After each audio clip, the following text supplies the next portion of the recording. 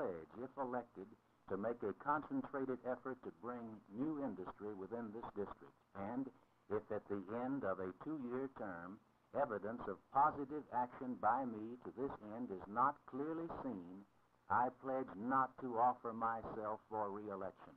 Accordingly, if elected, I will immediately establish a full time bureau within my office to work day and night for every community within the 6th District to bring new jobs, new employment, and new industry for our people.